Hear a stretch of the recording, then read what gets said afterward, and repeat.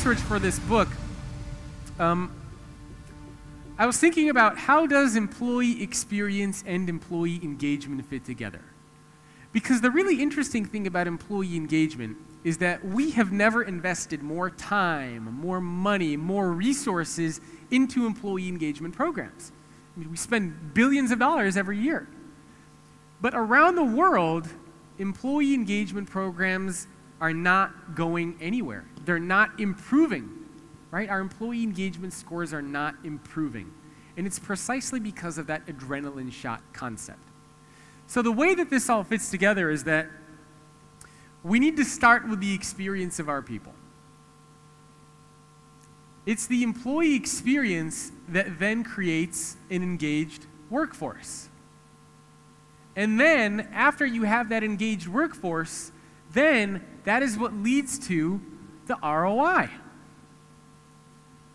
So, the big problem that we've seen inside of our organizations is that we've been stuck here. We've been stuck trying to measure employee engagement and influence employee engagement, but really what we don't understand is that it starts here. This is what happens first. If you want to have an engaged workforce, you have to start by investing in the experience of your people. So, what is it that some of the world's leading organizations have figured out?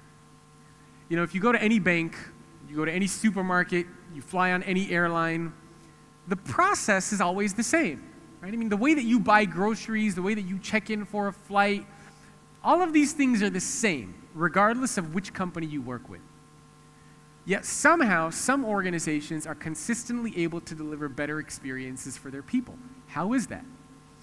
And there's one thing that the world's top companies have figured out.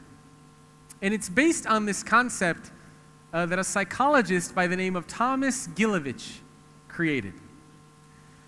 And what Thomas Gilovich realized is that if you invest and if you buy a physical good, for example, an iPhone, over time, your satisfaction will go down.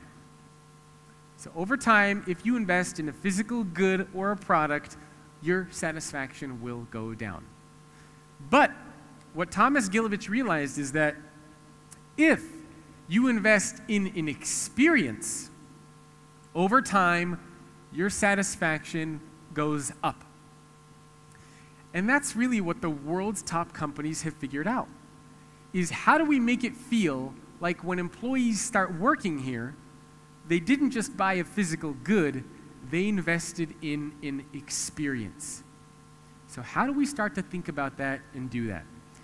Now, the good news is that for every organization around the world, every single employee experience is a combination of just three environments. Three environments, which I'm going to talk about in a minute. Now, to try to understand this, I researched and I looked at 252 organizations around the world. So, a lot of companies. And I grouped all of these organizations into different categories of how well are they doing when it comes to investing in employee experience? And as you can see from the chart, only 6% of companies are doing an amazing job of investing in employee experience. Only 6%. And these organizations include a company like Cisco, like Microsoft, like Facebook, LinkedIn, Airbnb. These are some of the organizations who are doing an amazing job of investing in employee experience. However, you can also see that 20% of companies are doing nothing. Just nothing at all. Another half of the organizations are doing just a little bit. Right? They're just doing a little bit, barely enough to get by. But the reassuring thing is that 23% of companies are doing very good. Not quite amazing, but they're doing very good. But again, the scary thing is that only 6% of companies are doing an amazing job of investing in employee experience. So there's still a long way to go. So, uh, one of the things that I looked at is I tried to understand what's the ROI of investing in employee experience. In other words, why should your company do this? It's one thing to say, oh, it's nice, it's good for our people, but does it actually drive any kind of business value? Is there any ROI of investing in employee experience? And the answer is yes, a lot. So I looked at ROI uh, across a couple different areas. The first thing that I looked at was do companies who do an amazing job of investing in employee experience do they also appear on other best of lists? In other words, best companies to work for, best companies for HR, smartest companies, most valuable companies. If you invest in employee experience, does your company appear on these other lists? And again, you can see, depending on the list that we look at, they appear on it two times as often, four times as often, up to 40 times as often.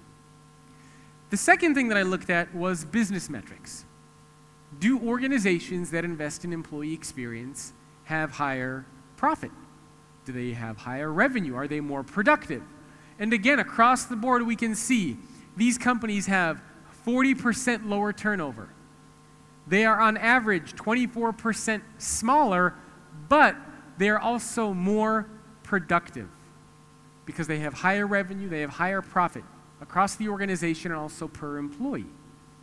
So not only are these companies making more money, but they're doing so with fewer people. That's what productivity ultimately comes down to. And the last thing that I looked at was stock price performance. Do organizations that invest in employee experience have better stock price performance? And I compared these organizations against the Great Place to Work Institute best places to work for, against the Glassdoor's top organizations to work for. I compared them against all sorts of different lists. And here too, we see organizations who invest in employee experience outperform every other kind of organization that exists and outperforms by far. It's not even close. So clearly, investing in employee experience delivers some kind of ROI to the organization.